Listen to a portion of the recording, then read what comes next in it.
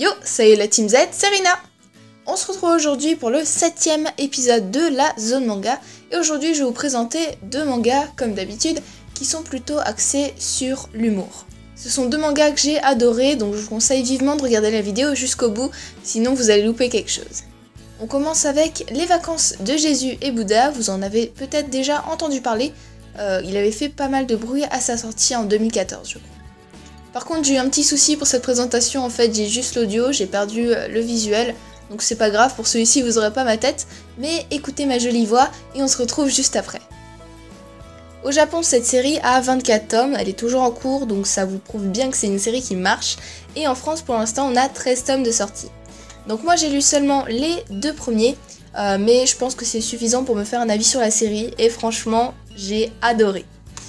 Donc j'essaierai de vous mettre euh, une image de la dernière de couverture. Mais en gros, c'est l'histoire de Jésus et Bouddha, donc que vous connaissez tous, qui, euh, après donc 2000 ans de loyaux services, entre guillemets, après 2000 ans à s'occuper des hommes, et eh ben ils ont décidé de prendre un petit peu de vacances et de venir sur Terre. Donc ils viennent sur Terre et ils vont prendre un appartement à Tokyo, donc au Japon, parce que Tokyo, bah, c'est la plus belle ville du monde, hein, tout le monde le sait. Euh, ils vont prendre une location à Tokyo et du coup ils vont vivre une vie comme n'importe quel euh, vacancier à Tokyo. Ils vont visiter les endroits les plus touristiques et en fait le manga est vraiment axé sur l'humour et également euh, c'est un manga de genre aussi tranche de vie parce qu'on va suivre du coup les aventures de Jésus et Bouddha à Tokyo et il y a plein de... Bah, c'est très comique et il y a plein de références aux religions, donc à la religion au bouddhisme et au christianisme.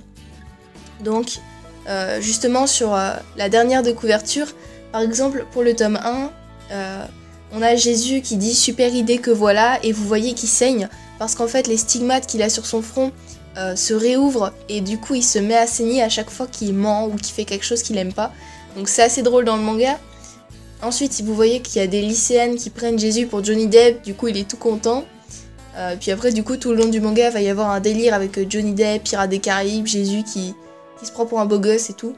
Et vous avez ensuite euh, la dernière case tout en bas où on voit Jésus et Bouddha en fait qui sont allés dans un parc d'attractions. Et vous avez Bouddha, c'est la première fois qu'il fait un grand 8. Et du coup, il est totalement terrorisé. Mais en fait, il prend la pose de la statue, justement, dans son siège. Enfin bref, c'est super marrant. Franchement, je vous conseille vraiment de les lire. C'est plein de petits sketchs. Chaque chapitre est un nouveau sketch. Il y a certains personnages qui sont récurrents pour donner un sort de fil rouge à l'histoire, mais vous pouvez commencer par n'importe quel tome, euh, vous allez vous amuser je pense. Voilà pour le premier titre. On passe maintenant au deuxième manga de cette vidéo, Silver Spoon. Alors ça c'est aussi un manga que j'ai adoré, qui est sorti en 2011 et qui compte actuellement 14 euh, tomes au Japon, il est toujours pas fini. C'est l'histoire d'un jeune garçon qui s'appelle Yugo, qui vient de la ville et qui ne sait pas ce qu'il veut faire plus tard. Quand il était au collège, il étudiait énormément pour essayer d'avoir des bonnes notes pour plaire à ses parents.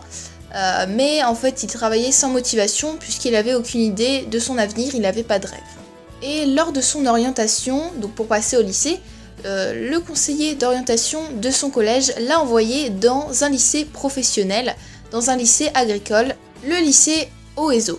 Dans ce lycée, les jeunes apprennent euh, bah, à faire euh, toutes des choses liées à l'agriculture, cultiver des champs, il y a des clubs d'équitation, des clubs d'élevage de vaches, euh, ils ramassent les œufs des poules, ils nettoient les enclos des chevaux, enfin vraiment c'est un lycée agricole quoi, donc ils font des, des activités de lycée agricole normal.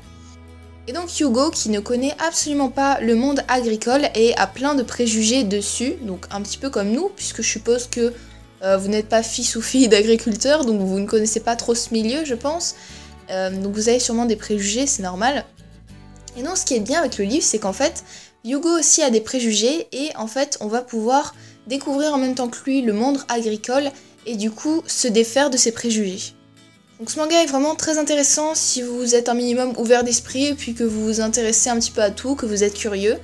Euh, c'est vraiment marrant parce que Yugo, comme il vient de la ville, il a des réactions un peu étranges face aux diverses choses qu'il peut rencontrer euh, lorsqu'il est au milieu de la campagne. Et du coup, dans cet homme, on va suivre sa scolarité et toutes ses aventures. Donc c'est un manga de genre humour tranche de vie, je dirais. C'est vraiment super drôle, super intéressant. Les dessins sont plutôt jolis, ils sont pas ouf. Franchement, je vous recommande absolument de lire Silver Spoon. Perso, il était disponible dans le CDI de mon lycée, donc regardez si vous êtes au lycée, s'il n'est pas dans votre CDI, mais sinon, n'hésitez pas à l'emprunter à la bibliothèque, peut-être que vous pouvez aussi trouver les scans sur internet. Mais franchement, les deux mangas que je vous ai présentés dans cet épisode, je vous les conseille à 2000%, parce qu'ils sont juste magnifiques. Bref, voilà, comme d'habitude, j'espère que cet épisode vous a plu. Si c'est le cas, je vous invite à laisser un gros pouce bleu. Merci à tous pour vos retours sur euh, le dernier épisode. Ils n'ont pas été ouf, hein, vous n'êtes pas emballés euh, comme des fous. Euh, mais voilà, j'ai eu des retours, j'ai eu des commentaires, donc bah écoutez, merci à vous. Ça me fait plaisir de voir que vous réagissez à mon travail. Et du coup, moi je vous remercie d'avoir regardé cet épisode et on se dit à très bientôt pour le prochain. Bye tout le monde